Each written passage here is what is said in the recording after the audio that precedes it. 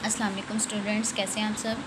Students, हम अपना इस्लामियात का काम शुरू करने लगे हैं तो सबसे पहले प्लानर ओपन कर लें।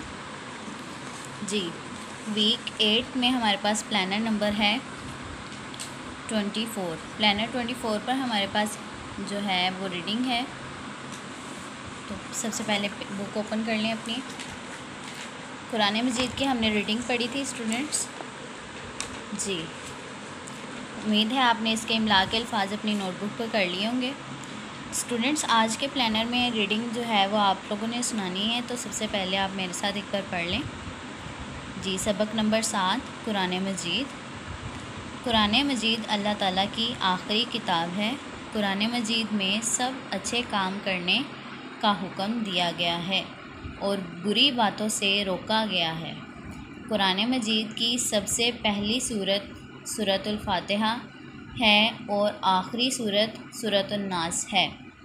कुरान मजीद की सबसे बड़ी सूरत सूरतुलबकरा और सबसे छोटी सूरत सूरतुल कौसर है।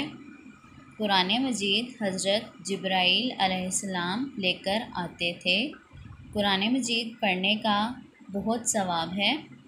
हजूर सल्लल्लाहु अलैहि वसल्लम ने फरमाया कि जो शख्स एक हरफ कुरान मजीद का पढ़े, उसको उस हर्फ के बदले दस नेकियाँ मिलती हैं। कुरान मजीद तकरीबन तेईस साल की मुद्दत में मुकम्मल हुआ।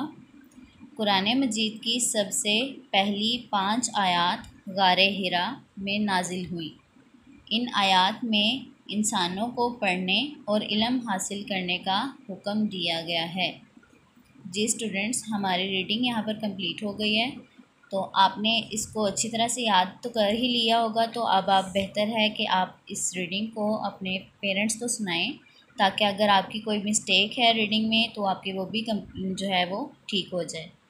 ओके स्टूडेंट्स इस सबक को आपने अच्छी तरह से समझ के पढ़ना है। इससे रिलेटेड आपसे कुछ क्वेश्चंस भी पूछे जा सकते हैं। ठीक है स्टूडेंट्स अपना ख्याल रखिएगा। अल्लाह हाफिज़।